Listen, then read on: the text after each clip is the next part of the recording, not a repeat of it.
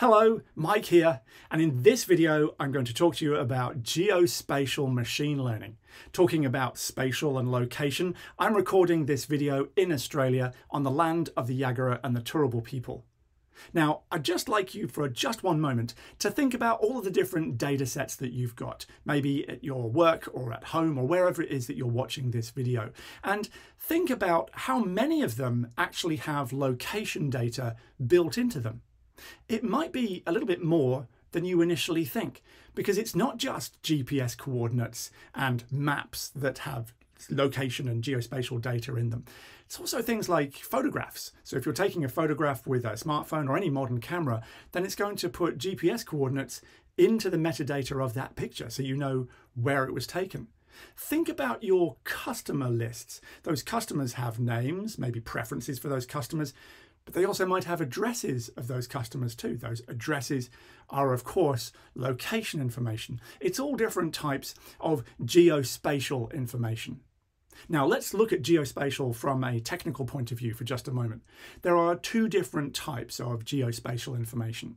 There's raster information. These essentially are images. So if you think of a photograph that's been taken of the surface of the Earth, then that's a raster geospatial image, if, as long as it's got metadata in there to explain whereabouts it is on the surface of the planet. And it doesn't have to just be visible light, so a photograph of the planet's surface. We could use all kinds of different types of uh, electromagnetic radiation coming off the surface, um, uh, infrared radiation, so that we can read all kinds of things about the surface. But at the end of the day, when you and I look at it, it looks like an image. That's raster-based geospatial information.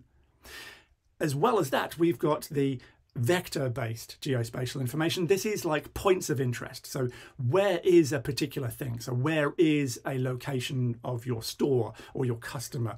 Or where is the location of a disaster, for example? Um, but also not just those points, but lines as well. So where are the roads that exist in our geospatial data set. So if you think about it, it's very much aligned with the kinds of data that we'd have in graphics and graphics design. So images and vectors. But in both cases, they've got geospatial coordinates and data built into those data sets. So those are the two different kinds of data that we talk about. Now, what can we use machine learning and geospatial data to unlock?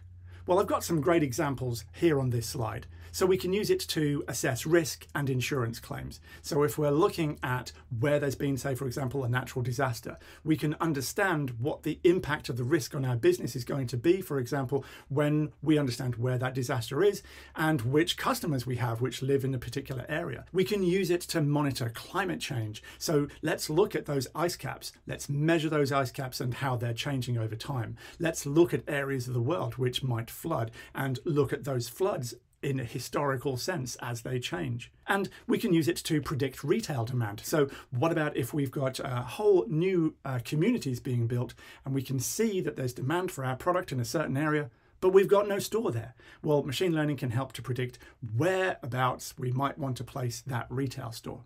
So lots of different use cases here. And of course, there are way more use cases beyond just that. So here I've got a sort of timeline of a geospatial machine learning project.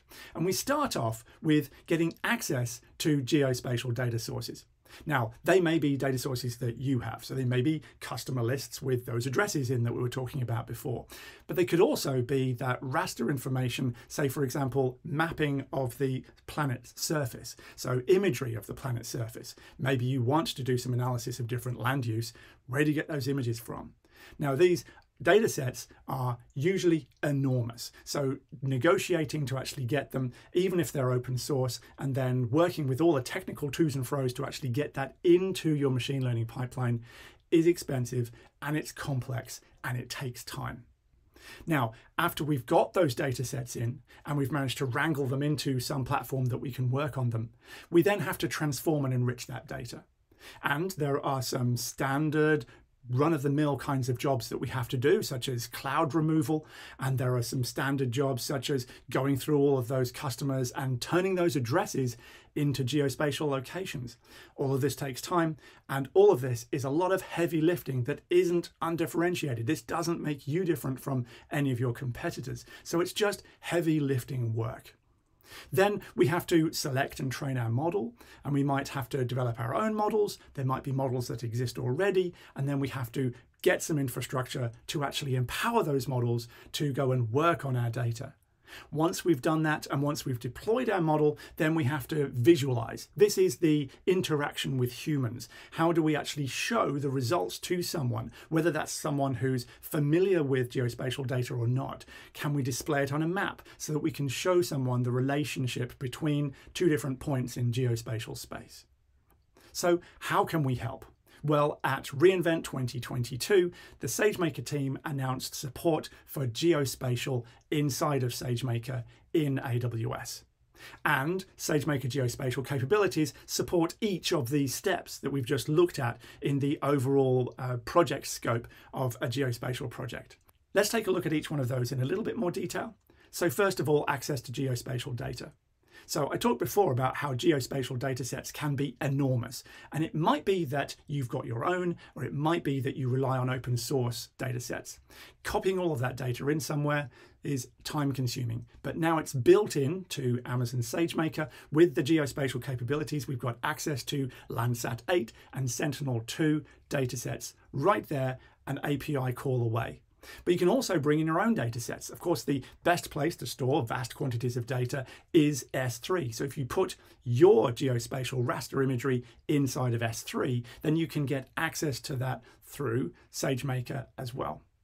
And then you can make those data sets available to everybody in your uh, organization. So once you've brought them in, once you've done the negotiation or you bought the data sets in, or you've decided which parts of the open source data set that you want to focus on, you can have those then registered in SageMaker so that other members of the organization can get access to them. And if you do any processing of that data, they can get access to that processed data so that you don't have to keep reinventing the wheel every time you start a new project. Now let's talk about transforming and enriching your data. This is where the machine learning really comes into play. And we can use what's called an Earth observation job inside of SageMaker to process the massive amounts of raster information that we might have downloaded from our open source datasets or from the provider that we're using.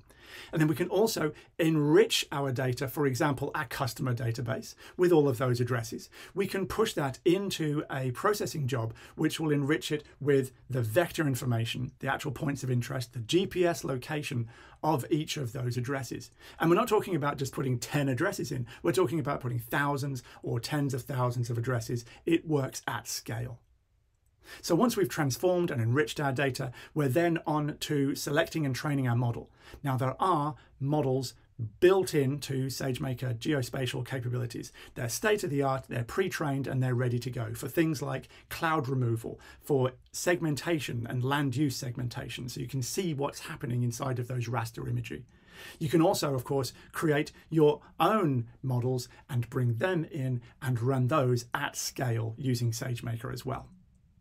And once you've done that, what about the visualization side? How do we show people what we've done? Well, now inside of SageMaker, you've actually got the ability to be able to visualize your geospatial data of both kinds with multiple layers to interact with it, to filter it out, and to tell the story of the geospatial project that you're working on.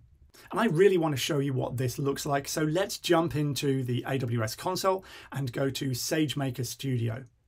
And here inside of SageMaker Studio, if I go over to the menu on the left-hand side, I can select Geospatial, and it'll show us the new landing page for the geospatial capabilities. If I just scroll down here, you can see all of the different features. Let's choose Earth Observation Jobs. This is where we get to process raster information. So I can go ahead and click on Create Job, It'll ask me to name the job and then what kind of task I want to do. What model do I want to choose from the pre-designed models? So I'm going to choose cloud masking to remove some uh, clouds from some raster imagery. I then have to tell it my area of interest. So I'm going to upload a GeoJSON file, which has got a area of interest defined here on the south of England. Um, and that shows me in the map where I'm currently looking. I can change the amount of cloud coverage that I'm willing to accept. And I can also choose the different um, image collections that I might want to use. Once I've got that set, and once I'm happy with the settings here, I can scroll down and click on create and that's all there is to it. The Earth observation job will now go off, grab that data from the repository and start to process it with the model we just selected, just from a few clicks.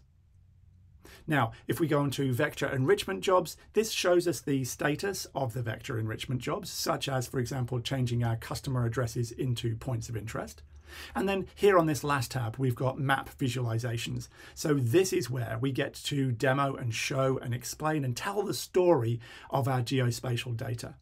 Let me just upload a dataset quickly from my machine. And here you can see uh, around about 34,000 data points that have been mapped over the surface of Australia. And look at how quickly that loaded and look at how quickly I can navigate around those points.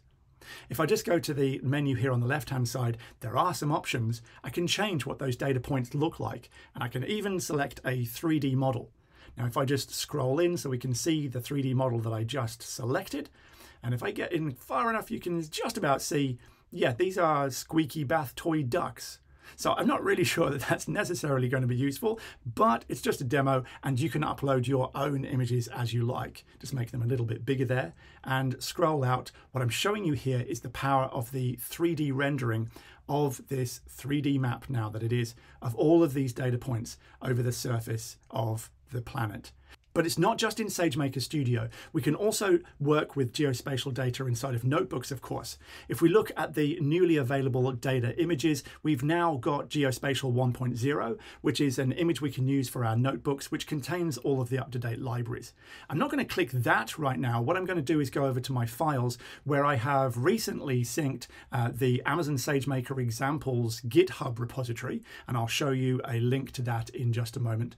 And inside there, we've actually got some demo notebooks that the SageMaker Geospatial team has put together for us. Now, I'm not going to go through these in a lot of detail right now. I'll leave it for you to go through them in your own time. I just want to show you some of the core capability that the SDK has. So if we just start to run some of these cells, we can load the necessary libraries. Um, and here you can see that we can actually select the area of interest we want and start off an Earth observation job using the SDK. So just in the same way as we could in the console, but here just with a little bit more control and repeatability. I'm going to accelerate this video just a little bit because the Earth observation jobs do take a little bit of time to process all of that data. But the reason why I wanted to show you that here right now is because I wanted to show you how you can visualize the data actually inside of the notebook itself. So if we just do this map render here, you'll notice that we actually get the viewer, the map viewer, inbuilt to our notebook environment we can then start to add layers to it. So here I'm adding the area of interest on top of our map.